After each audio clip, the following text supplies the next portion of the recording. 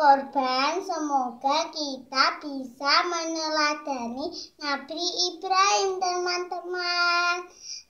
Jangan lupa tetap di rumah saja, memakai masker, mencuci tangan, dan hindari kerumunan dan menjaga jarak. Assalamualaikum warahmatullahi wabarakatuh. Assalamualaikum warahmatullahi wabarakatuh. Saya Baita Injar Marani kelas 1 Atusi mengucapkan selamat Hari Raya Idul Adha 1442 Hijriah. Dengan berkorban kita tingkatkan iman dan takwa kepada Allah. Selalu memakai masker dan mematuhi protokol kesehatan. Semoga pandemi COVID-19 segera berlalu dan kita bisa sekolah dan belajar bersama-sama. Tetap semangat. Allah Akbar. Jangan lengah. Wassalamualaikum warahmatullahi wabarakatuh.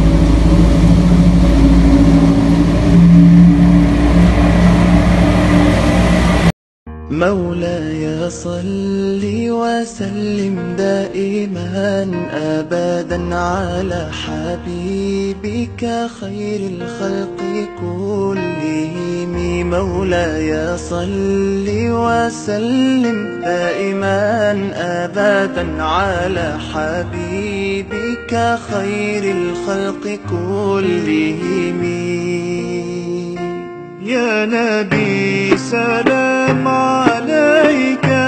يا رسول سلام عليك.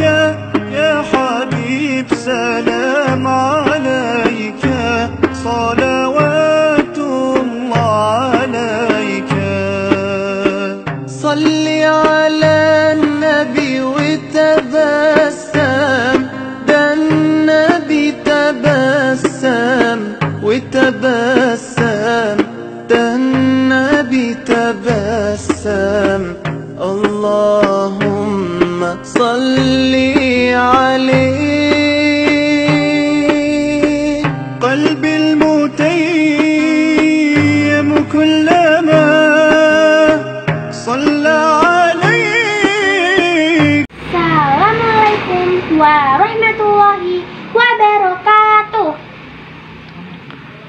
Puisi Hari Raya Idul Adha 1442 Hijriah.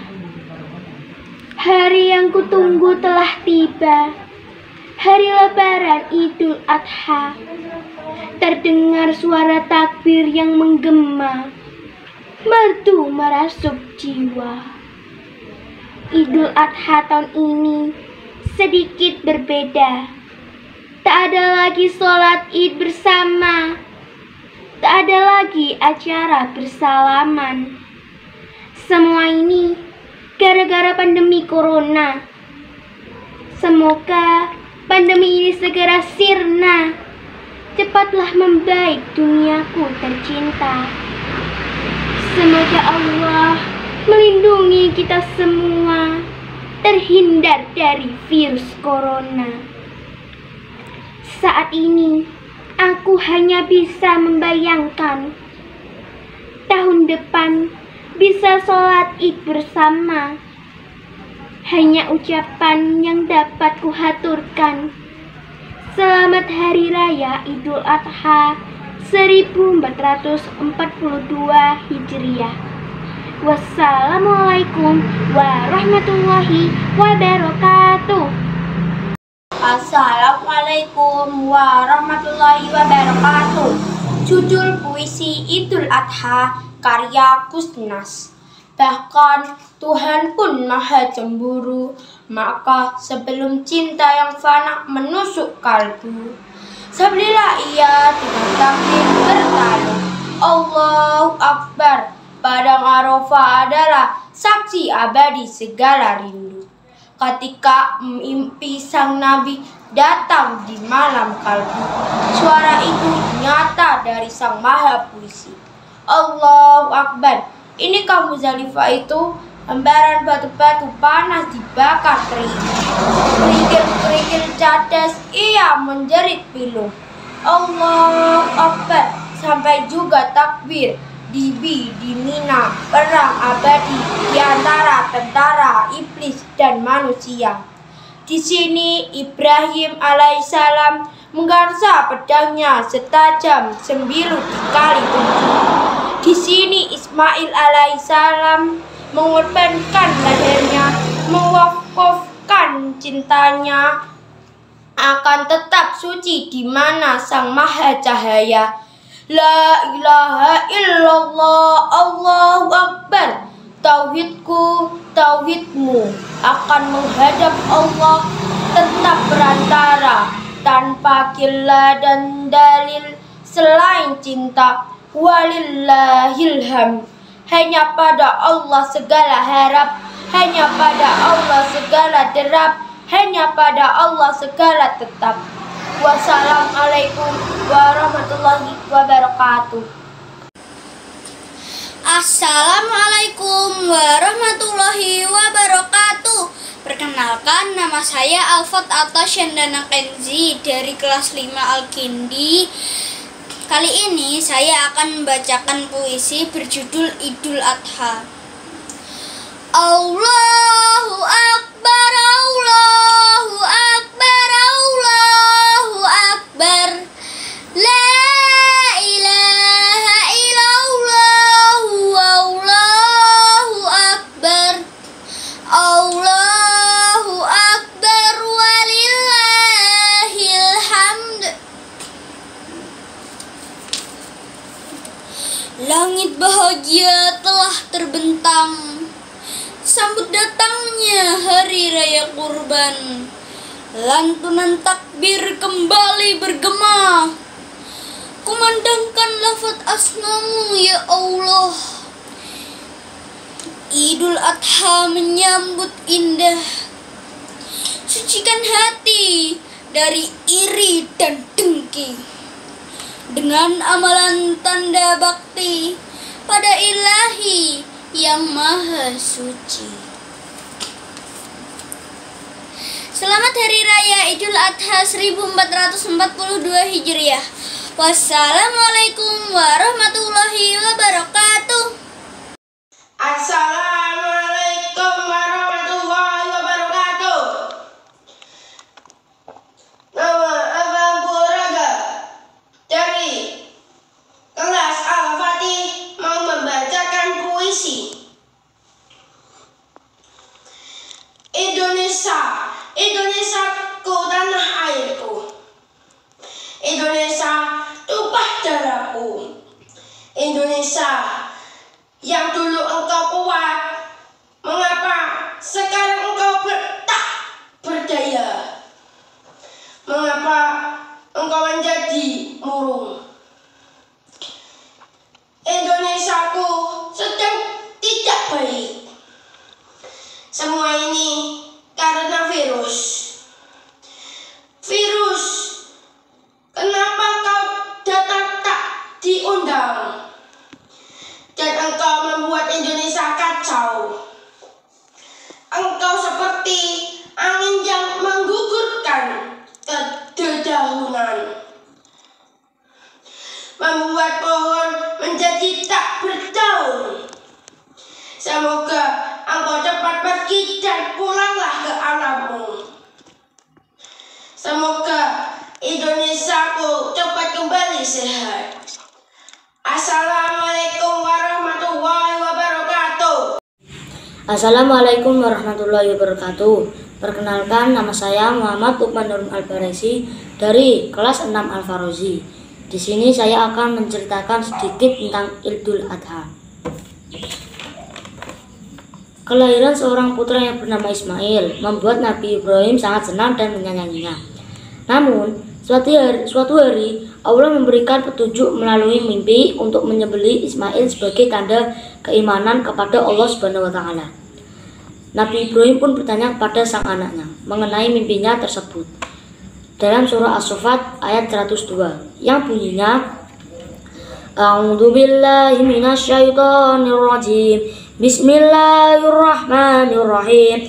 Falamma balagha ma'ahu sa'ya qala ya bunayya inni ara fil manam Inni ara fil manami anni atbauka fandur madza tara Qala ya abati fa'al ma tu'maru satajiduni insyaallah minas sabirin yang artinya maka ketika anak itu sampai pada umur sanggup berusaha bersamanya, Ibrahim berkata, Wahai anakku, sesungguhnya aku bermimpi menyembelihmu.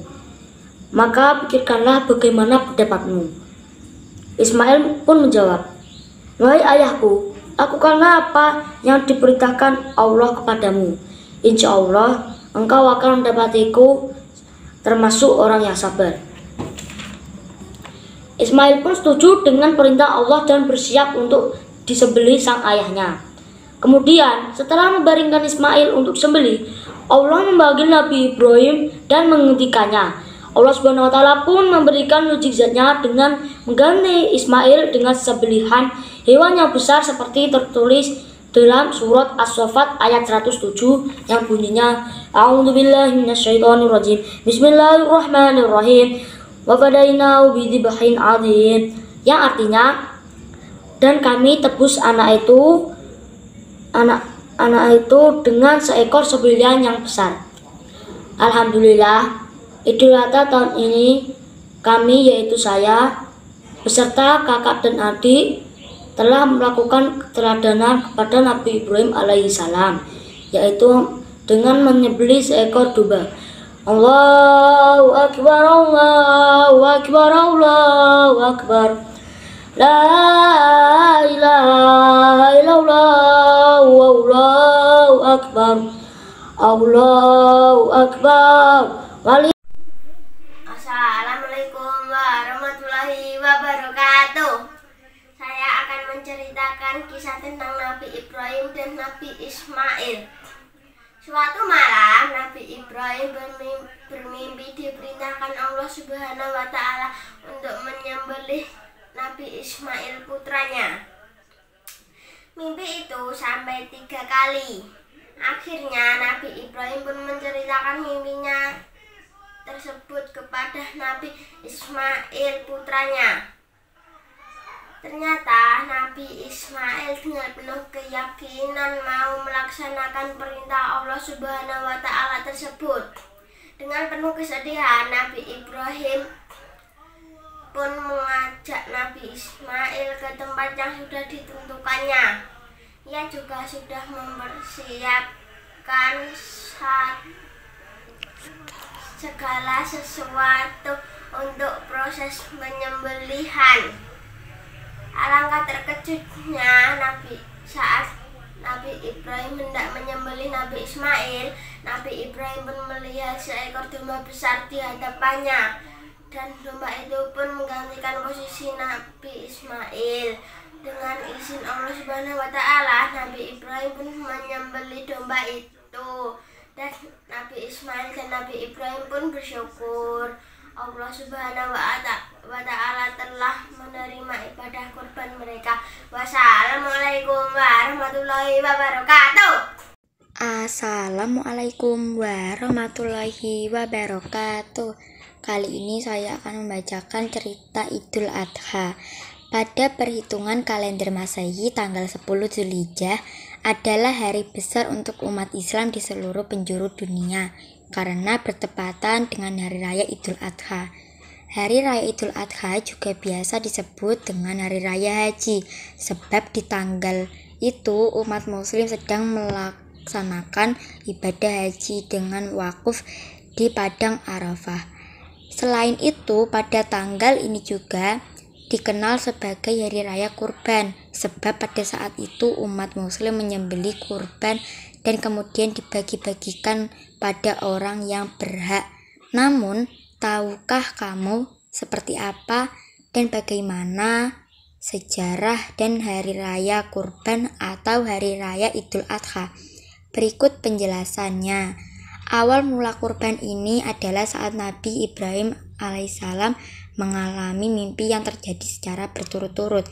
Pada mimpinya Nabi Ibrahim alaihissalam diberi perintah oleh Allah Subhanahu wa taala untuk menyembelih putra satu-satunya yaitu Ismail. Ismail ialah anak satu-satunya dari Nabi Ibrahim. Dan dan sangat lama Nabi Ibrahim alaihissalam menunggu kehadiran Ismail. Hati Ibrahim sangat gundah gulana memikirkan mimpi yang dialaminya. Terse dialaminya tersebut.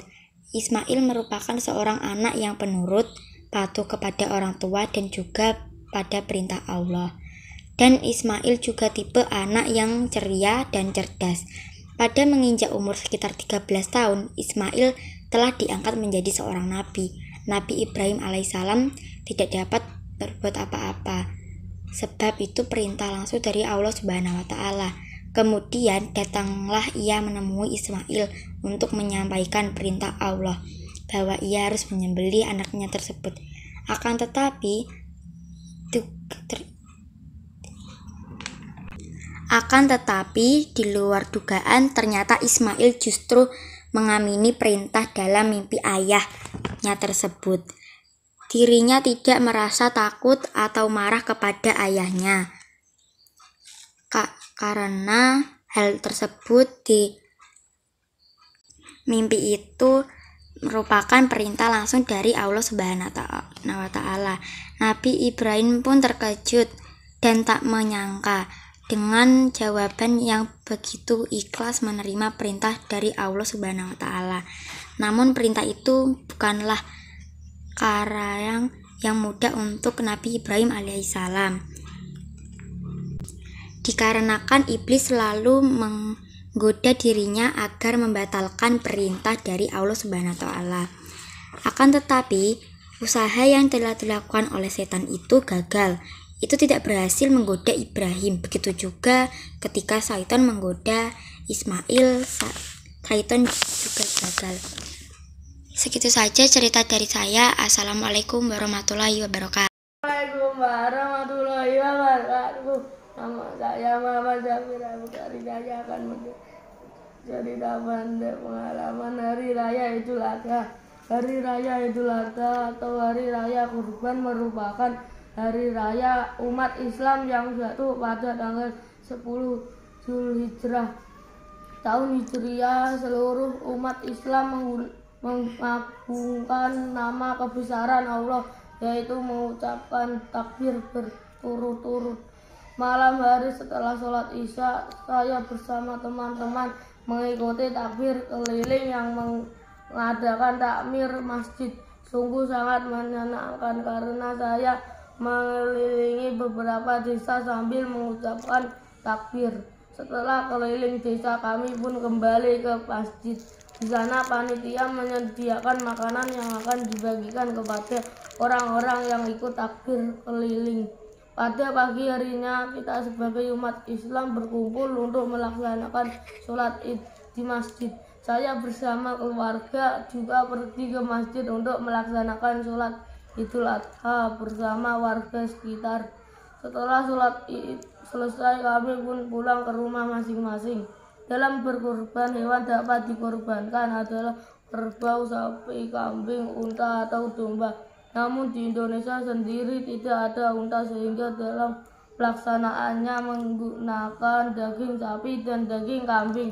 Seperti yang dilakukan di desa saya hanya kurban sapi dan kambing. Adapun hari raya Idul Adha adalah hari raya di yang diperingati peristiwa kur- kurban yaitu ketika Nabi Ibrahim yang bersedia untuk mengorbankan putranya untuk Allah. Kemudian sembelih itu diganti dengan seekor domba. Selain hari raya kur- kurban, hari raya Idul Adha juga dikenal dengan sebutan hari raya haji karena para jamaah dari seluruh seluruh dunia sedang melaksanakan ibadah haji di Mekah. Assalamualaikum warahmatullahi wabarakatuh.